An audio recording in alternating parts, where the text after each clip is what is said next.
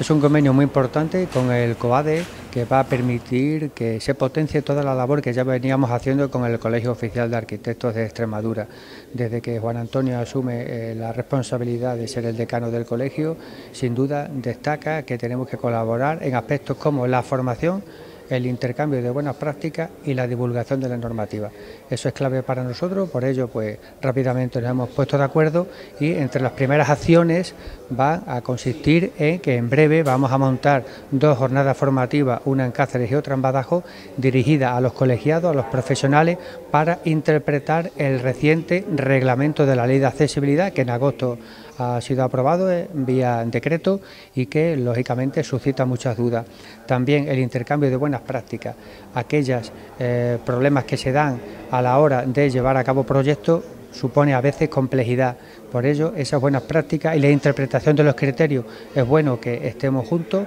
en los debates que se produzcan y sobre todo también en divulgar esos ejemplos de actuaciones para que se tomen como referencia. Prueba de ello es que el día 21, el viernes, tenemos una jornada en APAMES sobre accesibilidad al patrimonio y ahí una de las ponencias va a correr a cargo de Juan Antonio, el decano del colegio, precisamente mostrando lo que están haciendo y también cómo influyen como agente clave en materia de accesibilidad. Sobre todo de que la ciudadanía entienda que los profesionales al final están en beneficio de ellos, en garantizar confort, calidad y que eh, estos profesionales al final tienen en sus manos el diseño, la ejecución de las actuaciones que son para las personas. Por ello es muy importante el mensaje que él defiende de que están al servicio de la ciudadanía, que trabajan pensando en los ciudadanos y eso tiene que calar. Y esto es una suma de esfuerzo fundamental por ello, que el COADE esté con APAME, que esté también la OTAES detrás, que al final son también arquitectos, son colegiados. Por ello, fundamental que vayamos juntos,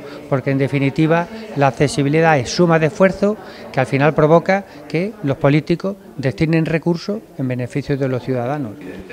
Como decía yo en la presentación, en la rueda de prensa, son dos objetivos fundamentales que desde el colegio veníamos persiguiendo que mm, van en avanzar más en la colaboración que ya se venía produciendo en tiempos anteriores, pero que queremos eh, sensibilizar en la medida de lo posible, por un lado, a nuestro colectivo, en el sentido de que la accesibilidad no se trata exclusivamente de cumplir una normativa que se nos impone, sino de ayudar a la consecución de un derecho ciudadano y de nuestra sociedad como es la accesibilidad universal.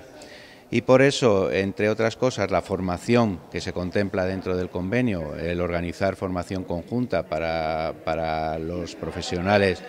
eh, que ejercen la actividad de la arquitectura, el avanzar también en el intercambio de experiencias entre la Asociación APAMES y nuestro propio colegio, puesto que visamos los proyectos donde se producen las circunstancias en las que eh, se encuentran los problemas de accesibilidad y eh, avances en divulgación, sensibilización, como te decía, publicaciones, investigación, etcétera, y con una amplitud muy grande que, encaje cualquier tema relacionado con materia de accesibilidad. El firmar el convenio también supone una visibilización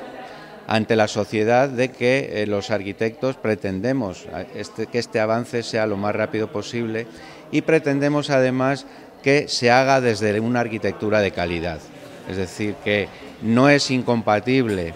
la consecución del fin de una mejor accesibilidad tanto física como eh, motriz, eh, como en su caso también sensorial,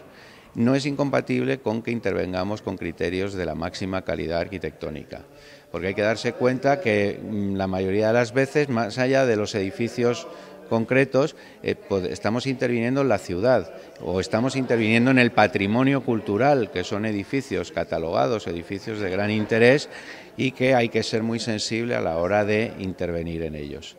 No defendemos que sean intocables, ni mucho menos, defendemos que hay que aplicarles criterios de accesibilidad y a la ciudad también, pero todo ello entendemos que la herramienta es una buena arquitectura y los agentes más capacitados para ello son nuestro propio colectivo de arquitectos.